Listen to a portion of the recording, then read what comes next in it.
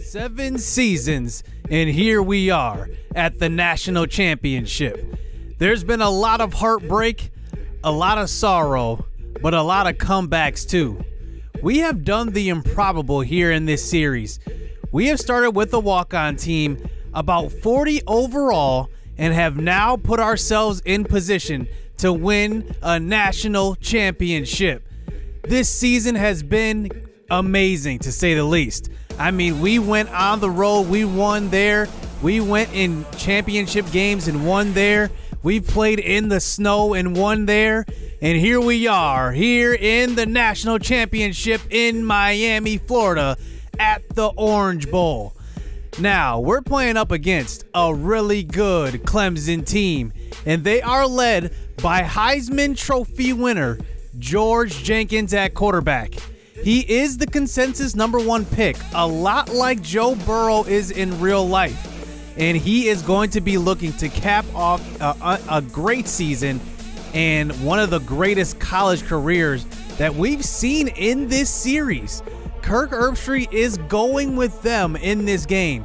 This is the only team that we have ever faced that has a top five offense and a top five defense.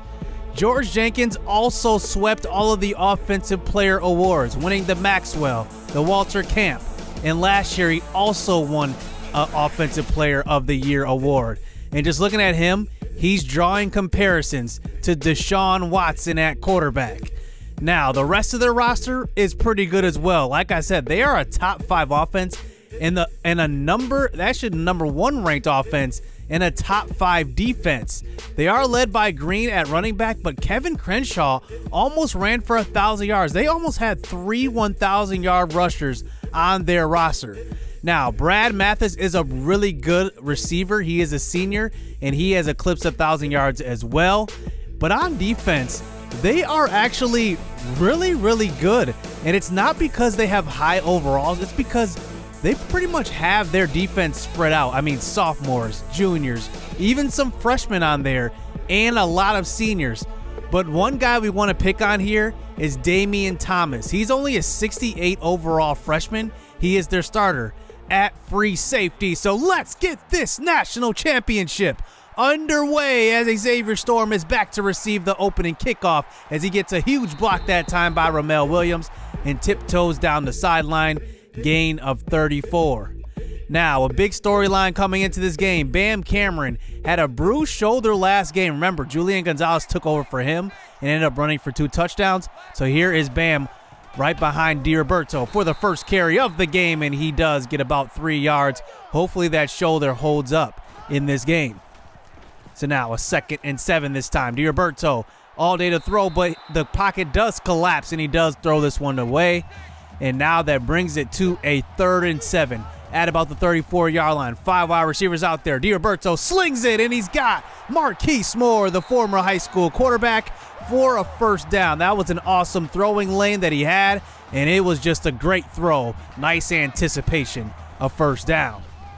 So past the 50 yard line, here's a handoff. Bam Cameron still in the game. He's got six yards. We do want to monitor him in this game, but it will be his last collegiate game.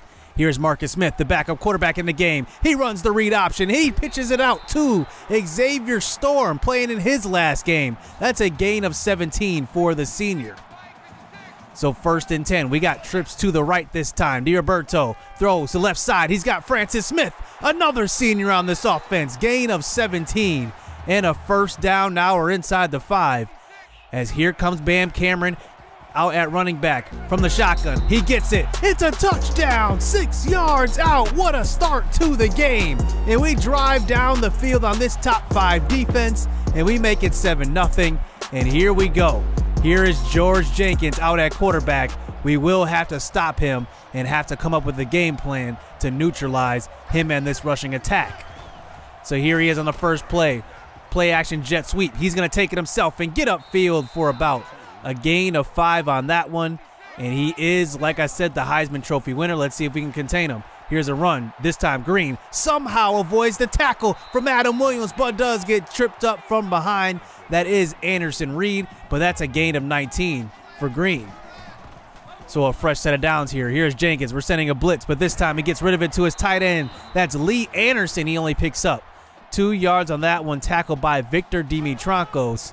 And that brings it to a third and eight. This time we send the pressure. He gets it away to Lee Anderson, but it's a nice tackle by Justin Royal, who also could be playing in his last game as a whitetail. And take a look at Adam Williams getting a good shot on George Jenkins. So we do force the punt on their first possession. Here we are, first throw, and that's deflected. And remember, they have a great defense, and they have a lot of weapons on their defense as well. They can force a lot of turnovers. Here's a throw to the right side on a second and long, and that's going to be Maurice Jackson. He does get tripped up, gain of 15, and that's a first down for the junior. So now from the shotgun here, this time, second and nine. DiRoberto rolls out to the right and gets rid of it that way. It's going to be Bam out of the backfield again. He's got a gain of 13 and a first down. So we're looking good on our first two drives here. Here's a counter play, but not this time. That is a tackle in the backfield. Bam Cameron will lose a few yards, and that's Slater who led their team in tackles with about 91.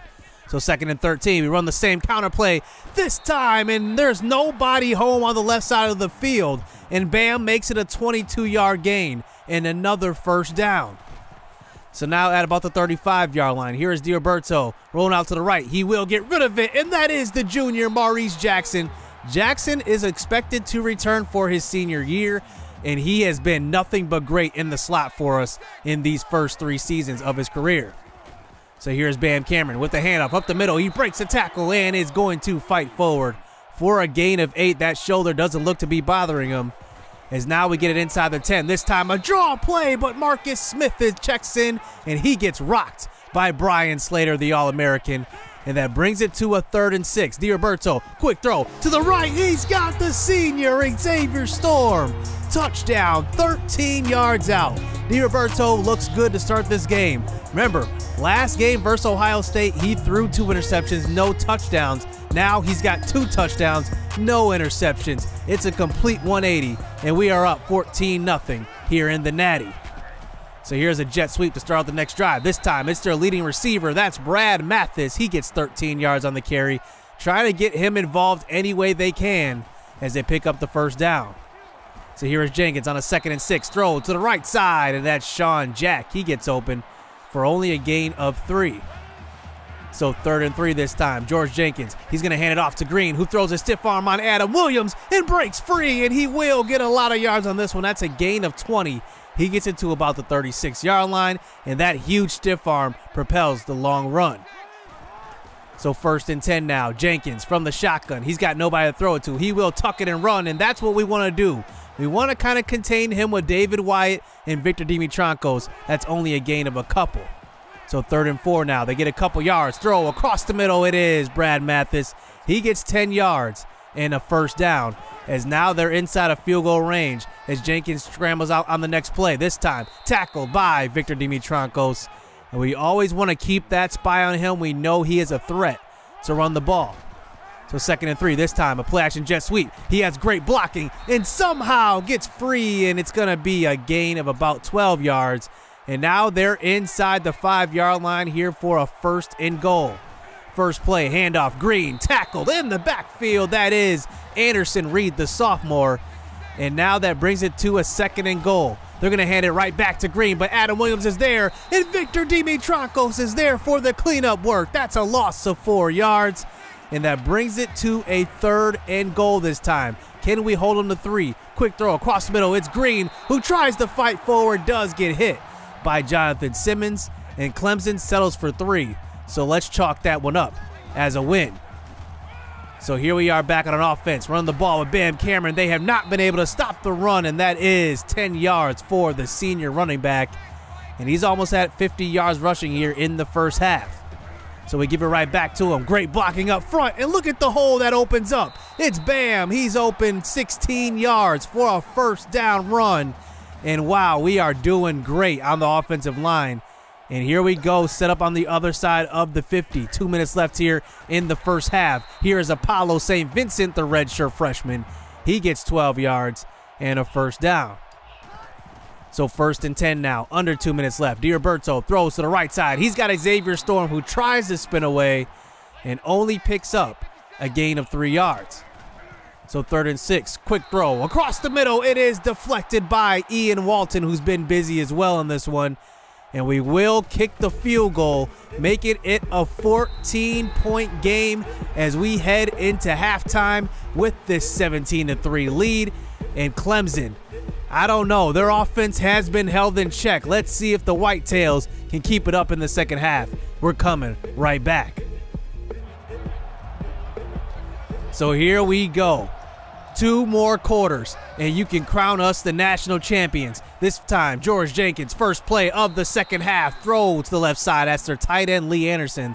They're not taking many chances downfield. Let's see if they do it in the second half. Here's a run up the middle. Green, and he does fight forward. Just gets enough for the first down, as this is their bread and butter. They run the ball well. Remember, they almost had three 1,000 yard rushers. Second and 10. Here's a throw deep down the right sideline. And I don't know if he threw that one away or it was just miscommunication on that one. And that brings it to a third and 10. Throw deep down the right side, and it's almost picked off. Like I said, they haven't tried many opportunities downfield. They tried Coco Bamaye on that one, and he does not disappoint. And now we get the punt back, and we have possession. We have a chance to go up by three scores. The first pass Price Greer on the sideline, 22 yards. That's a first down for Price Greer. And wow, this offense is just rolling in this one. So now first and 10. Here's a dump off pass. This time, a little shovel to Maurice Jackson. He can't get away. He only picks up two yards. So that eventually brings us to a third and seven from the shotgun. DiRoberto scrambles out, throws it deep. He's got Francis Smith and he keeps both feet in bounds, maybe getting ready for the NFL a little bit. And he is a senior playing in his final game. He and Storm are both seniors at, in the receiving corps, and that's a big time catch. And now we are inside the 10 yard line. So first and goal, we hand it off to another senior, Bam Cameron. He gets hit and he fumbles it, and Covington scoops it. And look at this, he is on his way to the end zone, but we run him down before he even gets to the 50. Take a look. Bam. Just gets it knocked out of his hands by number 49. That's Ian Thomas. And now here is Clemson back on offense. Maybe that's the jump start they needed. Jenkins scrambling out to the right side. He breaks a tackle from Ali Myers, throws off Justin Royal, and he's still on his feet. And he stumbles forward for a gain of 14. And this is the magic that NFL scouts are drooling over. And now here they are with another handoff. This time, Drew Green up the middle, and he only picks up a gain of four yards. So third and six. Can we come up with another stop? We send the blitz this time. They run the draw play, and Green just gets enough for the first down. He needed six. He just barely got six. And now they have a fresh set of downs. Anderson, he's been busy in this one, but a couple of like three, four, five yard catches is all he's had in this one. He's got six receptions for 20 yards. So now third and five. Will Jenkins try a deep one? No, they dump it off to the running back, and it's a stop in the backfield by Coco Bamaye. That's a great heads up play. He saw the screen pass the entire way. And now they line up for a very long field goal. This one's from about 53 yards. This time, it's not going to be good. And look at this. We take back over 17 to 3 and maybe we can make up for that lost fumble on the last possession this time. Xavier Storm starting it out with a gain of 13 on that catch. So first and 10. Here's another throw. And that Storm again. I'm going to miss him next season. He's open 15 yards and another first down for him. He's been doing his job in this one. So DiRoberto this time, four wide receivers out there. He's going to scramble to the right side. He gets rid of it on the run, and he's going to find Marquise Moore. And those are the type of throws that have NFL scouts really high on their radar. And wow, I mean, this guy is putting up numbers in this one. Handoff. Now inside the five, it's Bam Cameron. Touchdown, making a three score lead here in the national championship. We have shut down George Jenkins and here he comes back on offense. This time they're going to hand off to Drew Green. He gets a couple of blocks and he makes a couple of men miss in another block downfield. And he's going to take this one the distance. That's a touchdown by the senior running back, Drew Green.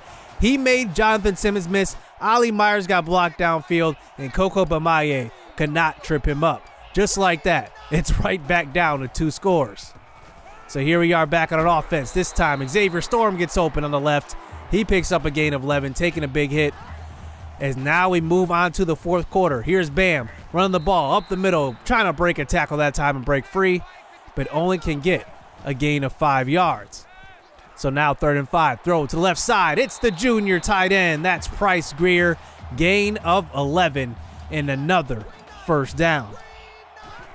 So now first and 10 this time.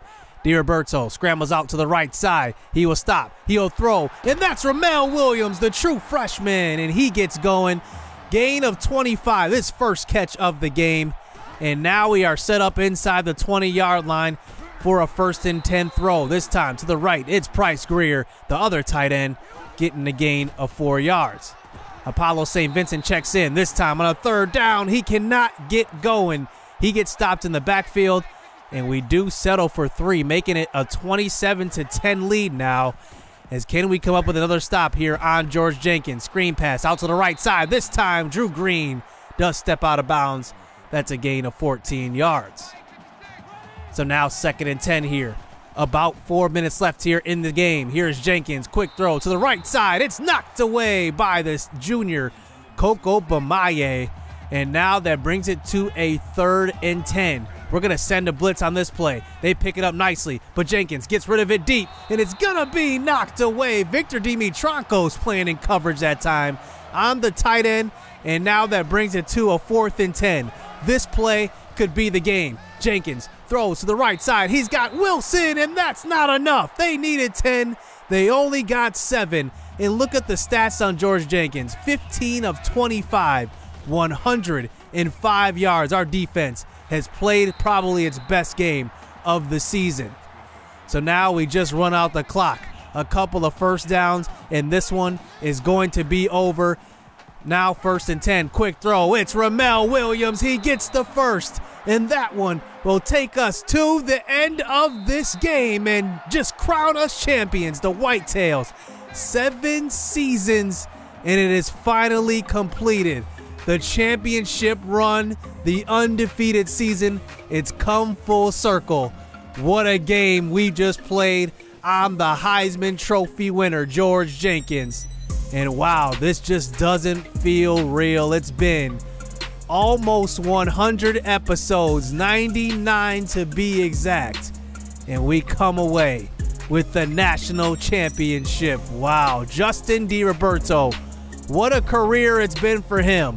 He's expected to declare now because if he were to show up in this game, NFL scouts are pretty much pegging him as a first round quarterback right behind his opponent, George Jenkins. And wow, what a game from him 22 of 28, 302 yards and two touchdowns. And look at George Jenkins, the Heisman Trophy winner, 105 yards passing. Do you understand how hard our defense fought this game to keep this guy out of the end zone? He did not score at all as they only scored on one long run, which was an 82 yarder from Drew Green. We kind of took away their possessions, and that's what really hurt them. They barely had any time of possession because they were trying to run the ball, and they just couldn't. We took away the run, and that's how we won this game. Our defense balled out at every single position, top to bottom, offensive line, dominated at the point of attack, defensive line. We were pushing them back on every run play. And then our linebackers, led by Adam Williams and Victor Dimitrakos, they had themselves an amazing game. Now let's look at the team stats though. I mean, this is just impressive. They were 3 and 8, 3 for 8 on third down and we almost doubled their yardage on offense. So we add the national championship to the trophy case. We already have four coach coach of the year awards and just looking at our tenure here, you can see 1 and 11, 5 and 7, 8 and 5, back to back 11 win, actually three straight 11 win seasons, and then finally 14 and 0 as we cap off our season with a national championship. And that's the first of many, hopefully. And here we go. This is going to be special going into next season because we're going to lose a ton of guys to the NFL. It's bittersweet. I'm happy for the future of our program. I'm also happy for our departures because there might be a lot now that we just won the national championship. Everybody was in the spotlight, and wow, what a season it's been. I can't wait to see what the next chapter holds here for the Whitetails as we head into season 8. So hit subscribe, hit that like button, stay tuned. Let's get it. Let's go. I've been working hard for a minute. The ones who don't deserve it seem to be the ones that get it. The ones who speak the truth never get the recognition, but the ones that act foolish seem to get all the attention. It don't matter though, yeah, and it don't even matter though, nope.